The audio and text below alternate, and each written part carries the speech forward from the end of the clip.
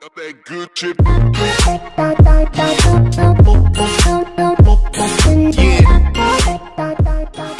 What's going on guys, Dividing here, and today we are back with another MCP, no, MCJE video? Java Edition. Technically, it's Java Edition on your mobile device. Now, I know I'm a little bit late to this. It's uh, I've actually been trying to explore this on a uh, on the S7, which is you know a bit older flagship device. But anyways, enough for me. So today, I'm going to be showing you how to install Pojav launcher. I've not I've never heard anyone actually actually say the name, so let's just call it Pojav launcher. Anyway, so the first thing you're gonna do is head to the first link in the description, or you can search Pojav launcher on Google. Once you get there, you're gonna head to this website, or it's gonna lead you to the next one. Anyway, so if you're here, you're gonna head and press this one. Now the one below is the iOS. So if you're on iOS, just click the one below, and then the instructions would be purely the same. So you're gonna head down, you're gonna head down a bit over here, you're gonna head down and then you're gonna head into the releases. Now, uh, the recording of this video, the latest one is January 25, at least for the stable builds, not the developer ones. So you head over here and then press app debug. Now it does explain what the difference between app debug is, so you can read it and I'm just gonna let this download finish and we're gonna continue the video from there. Okay, so the download is finished. You're gonna click the APK or whatever your device is on.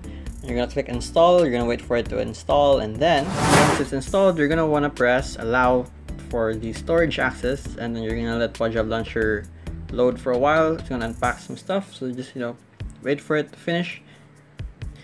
Okay, so you're gonna be presented with this one, and you have the option to place in your real Java account. Now, I'm not gonna do that because okay so you can just you know place in a, ra a random uh, username whatever you want really and then you can just click on keep me logged in and log in as offline account since you're not to be using your real java account but if you do you can place it in so next thing you're to do is you're to want to pick the version you're to be playing on so obviously we're to be heading for the latest one. Then you're just you're just to press play. Now you're to let your device download the the necessary stuff to be able to play. So let's just wait for this part and okay so you're gonna reach this part over here where the button says skip. You can actually just skip it because you don't actually need it. Like they these other assets aren't important so you do have the option to skip it. I'm just gonna skip it for the sake of the video. You can skip it but you know i just skip it it's fine. So it depends depending on what device you have what cpu you have or gpu you have i mean it this the launcher is gonna load faster or slower. In my case it does take a while. Right now it's not sped up but it usually takes around one minute for the mojang red loading screen to show up. Is that right there? See none of this vip none of the parts here were sped up so i talked through that whole thing. This is actually real-time talking so i'm just gonna keep talking just so that you can see how long it's gonna take for my device to load it's an s7 it's an exynos so the the uh, the last best Exynos, I guess. But yeah, does take a while for it to load, and if it does take longer in yours, I would say wait about maybe two to three minutes. If it doesn't load after that, or if it just crashes, that means your device isn't supported, which kind of sucks. But don't worry, because probably in a few months your device will be supported. Let's just you know cheer on the developers. And yeah, just trying to wait for the thing to load. All right there you go. So my screen others actually have a the background picture playing in theirs. I mean like moving in theirs but i actually don't have it. For some reason i'm not sure why. So you do have all these GUI stuff. You can set your mouse on. You can set oh, nope you can set your other stuff. So I'm gonna be using I'm gonna be loading a world to show you guys that it takes for me at least takes really long for me to create a world. Not like really really long. But while we're waiting for the world to load you got over here your GUI with which you know shows your GUI here you got the INV which is your inventory once you load in the world.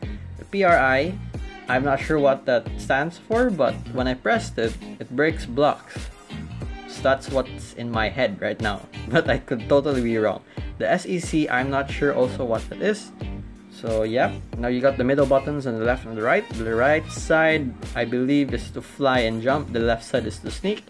You cannot do the same option where you can swap the two buttons unlike MCPE. So that kind of sucks since I'm really used to that. Anyways, you got your third person button, which is, you know, to switch the switch through first person to third person if you want that. Now you got the tab and the keyboard and your chat. And yeah. That's basically it for the GUI stuff and your mouse on on for the top right.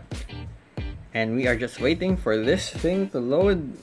I'm really wanting to show you guys how long it takes for me to do this. I cannot actually run run uh, Java shaders. I did try the Zink build, the developers build, so doesn't work for me, which kind of sucks. The S7 probably isn't supported, but I would love to be a developer for the game. A developer, a tester, I mean, I'm sorry. Uh, yeah, you know, just to reach out the range more a little bit, maybe it can help. Anyways, 100%. This should be... Uh, it should load anytime now. Let's just be patient. Okay, blah, white screen, and we are in the game. So obviously, once you go in, you're treated with this. Now, if you press uh, back on your device, you can actually change your video settings over here. So you got this stuff. Depends on you what uh, runs the smoothest for you. If you if your device has a good, you know, the latest GPUs, then that's cool. If your device is a toaster, like mine, sort of, well, you got to stay on the lowest. Sorry, I keep getting here. Lowest uh, options. So that's basically it. Other than that, you can install Optifine to make the the frame rate better. But that's for another video. Anyways, yeah, that's basically it. I just wanted to, you know, put out a video for this because I am going to be putting out more Pojav Launcher videos in the future. I hope so if I can, you know, get supported. But yeah, that's basically it. Thank you guys so much for watching. Don't forget to leave a like and subscribe. Comment down below for any future suggestions. I will be going back to my shader reviews and a possible survival series. So yeah, see you guys next time. Goodbye. Peace.